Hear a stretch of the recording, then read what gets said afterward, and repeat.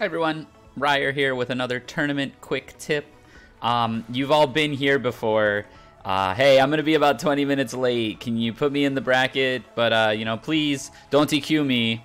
Uh, it's the worst thing for a tournament organizer to hear. So I got tips on both sides uh, for this one. So if you are a player and you are going to be running late to the bracket, it is absolutely crucial that you let your tournament organizer know.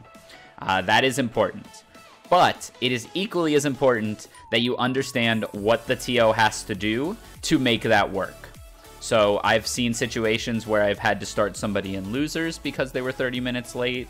I've seen situations where I've had to change their seeding to a lower seed to make the bracket run more smoothly because we would expect them to be showing up late or or vice versa. I've had to put them as a higher seed than they might otherwise be just so that they do get the round one bye and our bracket can run more smoothly. So, as a player, if you're going to be late, let your TO know, but please understand that they're doing everything they can to make the overall bracket run smoothly. If you have to start in losers, if you have to start at a different seed, you know, if you have to rush through three matches as soon as you get there, please understand that it's for the better of the tournament and please don't be salty.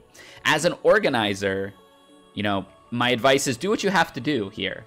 Uh, you know, make your bracket run as best as possible. It does stink to put somebody in losers. It does stink to shuffle up your bracket. It does stink to hold people up. I've, I've pulled people aside and said, hey, your opponent is running late. You know, please be patient. And, you know, they're usually pretty understanding about it. So, you know, you do have to kind of work to make it work, but you know, do what you've got to do for the better of the overall bracket. People will eventually understand if they have to start in losers, you know, if they have a bad run over it.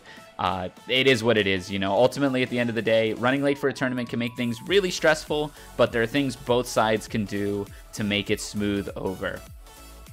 Uh, that's my tip for today. Thanks for listening. Uh, follow for more tournament quick tips for participants and organizers.